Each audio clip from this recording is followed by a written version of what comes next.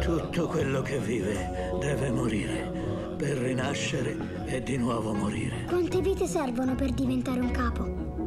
Ah!